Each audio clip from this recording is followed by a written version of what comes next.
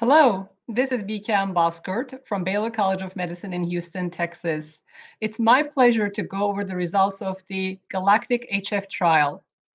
We heard the results of the Galactic trial, the long awaited large scale randomized clinical trial addressing the efficacy and safety of omecamtiv mecarbil, uh, a selective cardiac myosin activator. The trial, very interestingly, excluded patients with systolic blood pressure less than 85 or eGFR less than 20, which is an expansion of the inclusion of a lot of uh, sick patients with hypertension or CKD.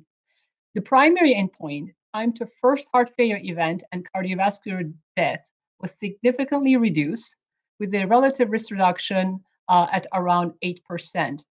Components of the primary endpoint, time, time to first heart failure event was barely missed with a statistical significance of a p-value of 0.06.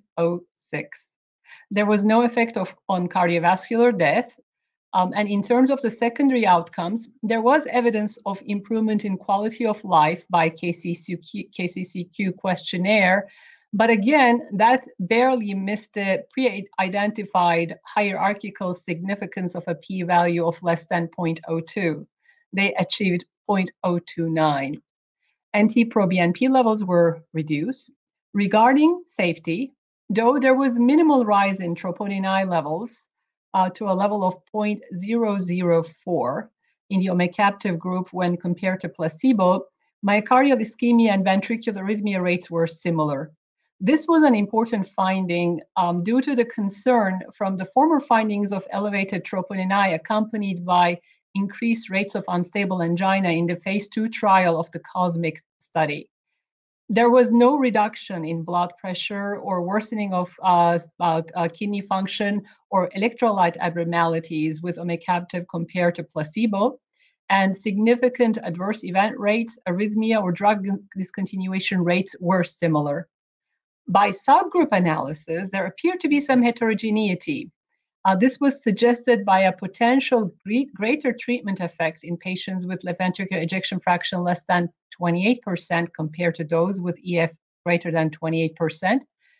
And patients who were sicker um, in NYHA class 3 4 state or elevated NT-proBNP levels over the median appear to have benefit, but the interaction was only significant for the EF subgroup analysis of EF less than 28.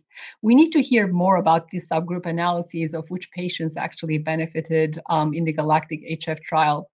So in summary, the major findings include that omecamtiv mecarbil resulted in a mod- modest, about 8% risk reduction in the risk of primary composite outcome, the first heart failure event combined with cardiovascular death, but the subcomponents of the primary endpoint and or the quality of life uh, secondary endpoints did not reach significance. The pattern of adverse events, including myocardial ischemia, ventricular arrhythmias, appeared to be safe, though there was a mild rise in troponin levels. There was no reduction in blood pressure and no adverse effects on kidney and electrolytes. And there was possibility of heterogeneity, as was suggested by a greater uh, treatment effect in patients with EF less than 28%. Further subgroup analyses may provide greater insights into subgroups who may benefit or may uh, confer higher benefit uh, with omecamtiv, uh, such as patients who are sicker with lower blood pressure or lower EGFR, for which we may not have much of a treatment uh, options, especially in the low blood pressure realm, because most of the clinical trials prior to Galactic excluded patients with blood pressure or systolic blood pressure less than 100. Background medication use was good. The ACE inhibitor ARB or ARNI use was approximately 87%. Beta blocker use was about 94%.